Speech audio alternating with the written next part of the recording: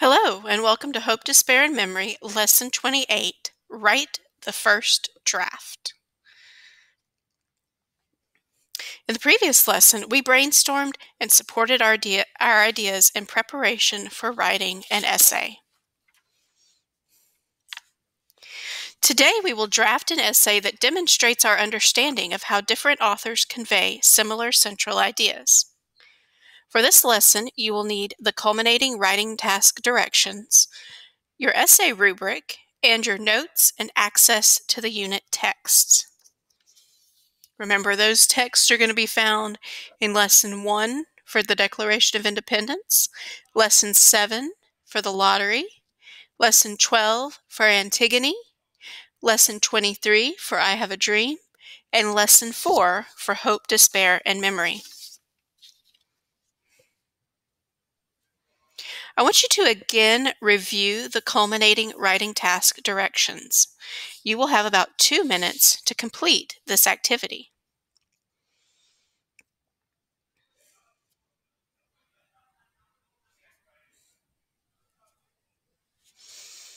Let's work together to organize the introduction paragraph of your essay. Let's discuss to ensure the essay is organized around a thesis statement. Remember, a thesis statement is a statement that summarizes the key points of a text. All good writers have a thesis statement. When you write, you must have a central idea you are communicating, which must be presented as a declarative statement at the end of your first paragraph. It will tell your reader what your writing is about. It will also provide organization to your writing. I want you to follow the example and the directions on the slide. You don't necessarily have to use the thesis statement template. It is there for you to write, help you write your thesis statement, but you can word your thesis statement differently. You will have about five minutes to write your thesis statement.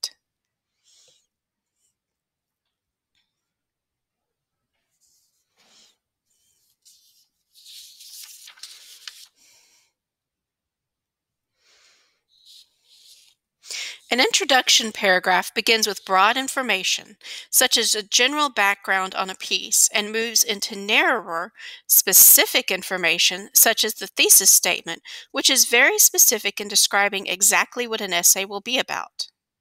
I want you to write the first draft of your introduction. Remember to use the specific structure of the suggested paragraph to the right of the triangle if you are unsure about your writing.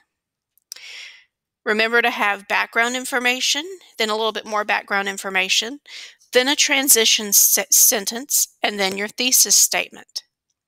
You will have about 12 minutes to write your introduction.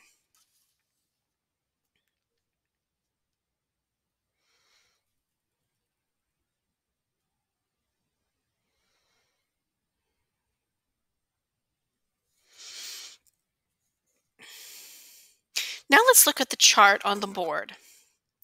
The first sentence in a body paragraph must contain the topic or explain what the paragraph will be about.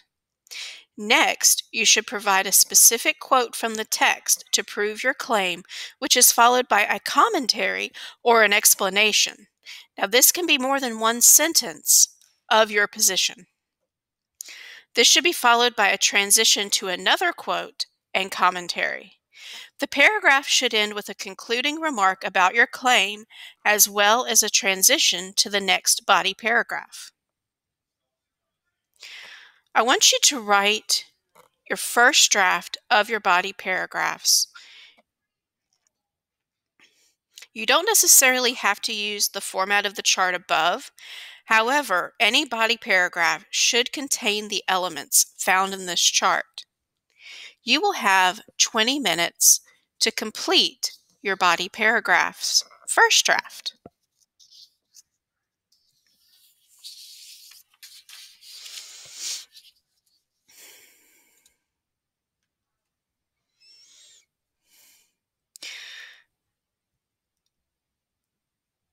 A conclusion paragraph is the opposite of the introduction and begins with the narrow specific information, such as the reaffirmation of the thesis statement, and moves into broad information, such as a connection to the real world and broad universal ideas. I want you to go ahead and write your conclusion paragraph first draft. I want you to use the specific structure of the suggested paragraph structure to the right of the triangle if you're unsure about your writing. In other words, you should begin with a restatement of your thesis, a transition to a big idea, a connection to a thematic or universal idea, and then a final connection to a thematic or universal idea you will have about 12 minutes to write the first draft of your conclusion.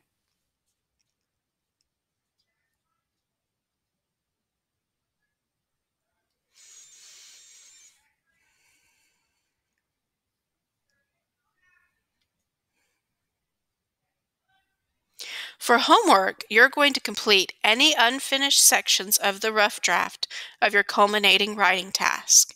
You will need your text, handouts, and your partially completed rough draft. Congratulations! You have completed Lesson 28 of the Hope, Despair, and Memory unit. In this lesson, you demonstrated your understanding of the way two authors can convey similar central ideas. You also learned how to organize an introduction and body paragraphs of an essay.